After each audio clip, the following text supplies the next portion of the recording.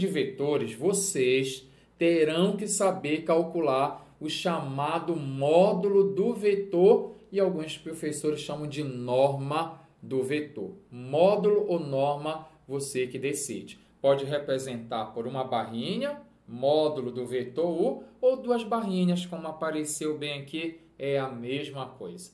Como é que eu faço para calcular o módulo do vetor ou a norma do vetor?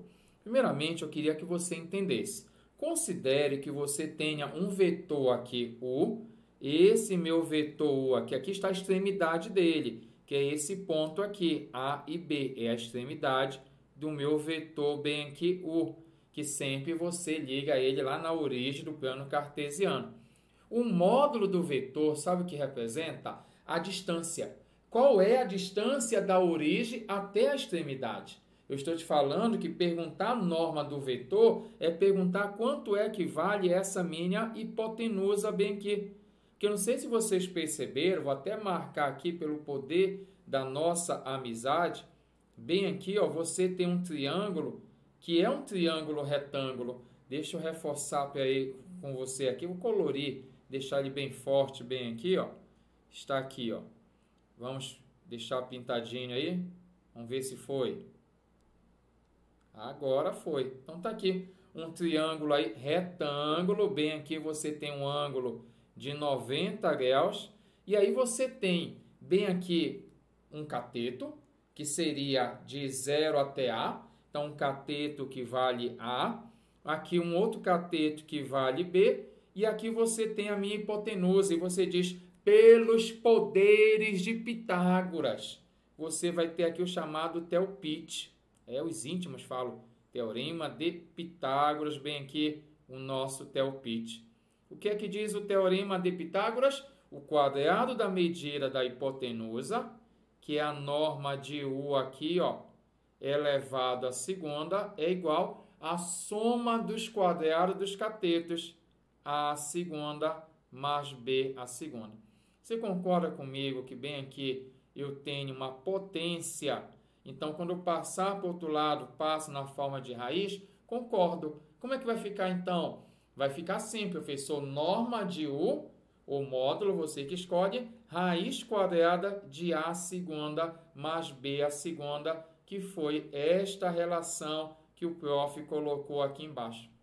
Tá bom? Então eu quero que você entenda, não apenas decore, entenda o que é um módulo de um vetor, é o comprimento dele, é a distância da extremidade até a origem do plano cartesiano. E uma observação, eu fiz um desenho aqui no espaço bidimensional, mas se fosse no espaço tridimensional, x, y, z, vai aparecer mais um cara aqui, né? A, B e um C, por exemplo.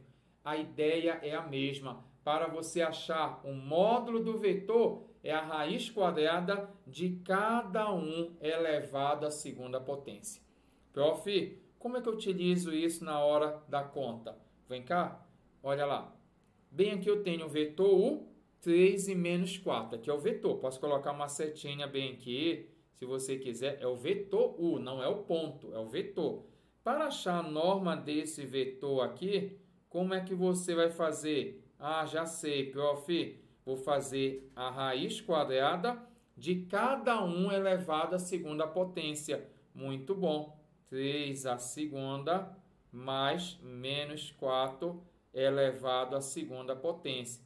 E aí você fecha aqui a nossa raiz. Agora você vai resolver. Não, não faça isso. Já quer fazer besteira.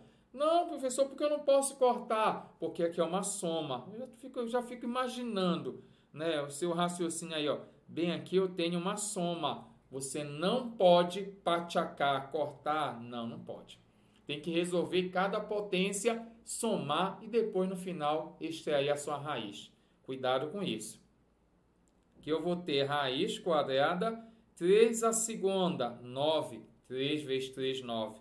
Aqui mais, não vai fazer outra besteira. Muita gente chega aqui e diz, mais com menos, menos, professor. Ei, primeiro você faz a potência, depois o jogo de sinal. Então, base negativa elevada ao expoente par vai dar positivo. Por quê? Porque menos 4 a segunda é menos 4. Não precisa decorar isso. basta entender que eu tenho menos 4, a segunda, que é menos 4, vezes menos 4. E aí, menos versus menos dá mais. Então, cuidado. Então, aqui vai dar 16. E aí, você agora vai fechar aqui a sua raiz. Essa raiz não está legal. Vamos lá. Agora, e aqui você tem raiz quadrada de 25. E aí você tem que o módulo é 5 unidades de comprimento. O C é 5 unidades de comprimento. 5 metros, 5 centímetros, não foi especificado, mas é tamanho, é comprimento, a norma é uma distância, 5 unidades de comprimento é a sua resposta bem aqui. Você entendeu? Vamos ver um outro exemplo aí. Se aparecesse, por exemplo, assim, ó, eu quero calcular a norma desse vetor, vou chamar aqui de vetor V.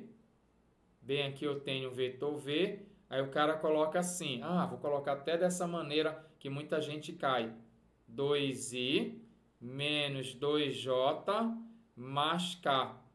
Quem é a norma desse vetor bem aqui?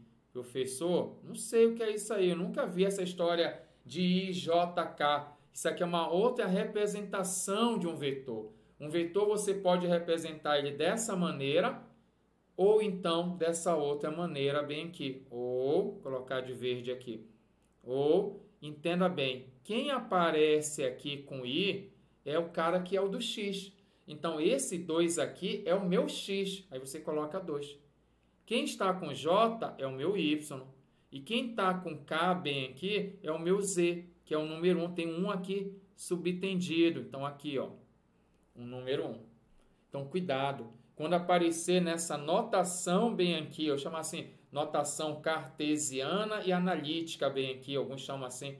Então, aqui você tem esse cara, essa simbologia bem aqui, equivale a esse cara bem aqui. É a mesma coisa. Então apareceu I, J, K, já sabe, é do X, Y e do Z na ordem. E para achar o módulo desse vetor, ah, você já sabe. O módulo desse vetor pode colocar uma barrinha se você quiser, pode colocar duas barrinhas, pode chamar de módulo, de norma. O mais importante é saber como se calcula. Quando tem x, y, z, é a mesma coisa, raiz de cada um elevado à segunda potência. Dessa maneira bem aqui. Show do milhão? Agora você vai achar aqui, ó, a norma do meu vetor V será a raiz quadrada de. Aí você coloca. Ajuda o prof aí. 2 a segunda, 4. Menos 2 a segunda, 4. Mais 1.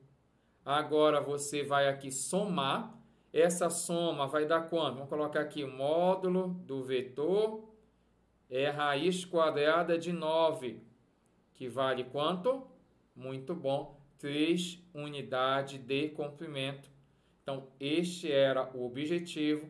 Passar a mensagem para você na calma bem aqui, que quando você quiser obter um módulo de um vetor, não importa se é com dois caras, com três carinhas, xy, xyz, é a raiz de cada um elevado à segunda. Mura, e se aparecesse um exemplo que não tem uma raiz quadrada exata? Ah, deu 15, fica assim mesmo, raiz quadrada de 15. Não precisa ter uma raiz quadrada exata.